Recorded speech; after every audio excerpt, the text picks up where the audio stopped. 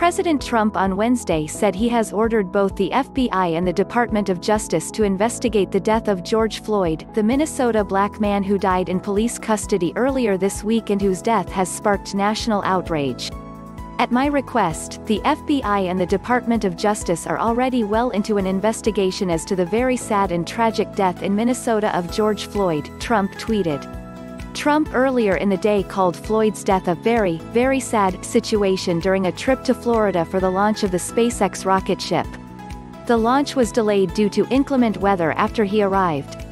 The president's tweet also came after presumptive Democratic presidential nominee Joe Biden called on the DOJ's Civil Rights Division to investigate the death of Floyd.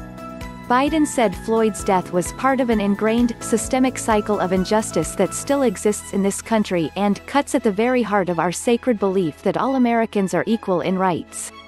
It also sends a very clear message to the black community and black lives that are under threat every single day, Biden added, saying he was glad the mayor and the police department fired the officers, but I don't think that's enough.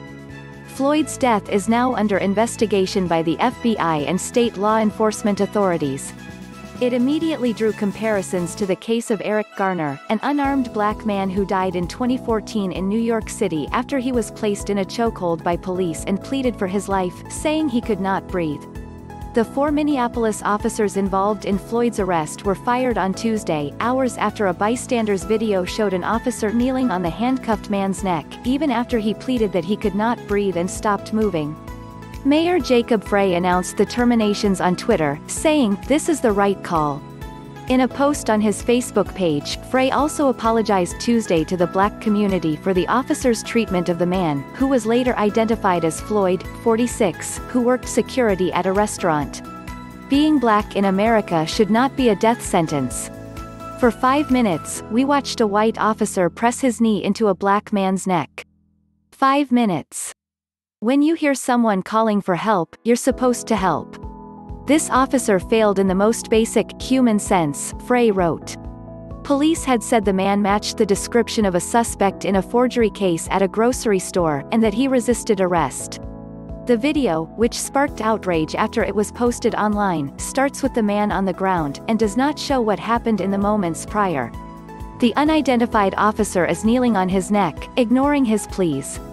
Please, please, please, I can't breathe. Please, man, said Floyd, who has his face against the pavement. Floyd also moans. One of the officers tells him to relax. The man calls for his mother and says, My stomach hurts, my neck hurts, everything hurts. I can't breathe. As bystanders shout their concern, one officer says, He's talking, so he's breathing. But Floyd stops talking and slowly becomes motionless under the officer's restraint. The officer does not remove his knee until the man is loaded onto a gurney by paramedics. Several witnesses had gathered on a nearby sidewalk, some recording the scene on their phones. The bystanders become increasingly agitated. One man yells repeatedly, he's not responsive right now.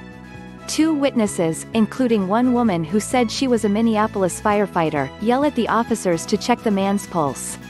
Check his pulse right now and tell me what it is she said. At one point, an officer says, don't do drugs, guys. And one man yells, don't do drugs, bro. What is that? What do you think this is? The Hennepin County Medical Examiner identified Floyd but said the cause of death is pending. The Hennepin County Attorney's Office, which would handle any prosecution of police on state criminal charges, said in a statement that it was shocked and saddened by the video and pledged to handle the case fairly. The FBI is investigating whether the officers willfully deprived Floyd of his rights.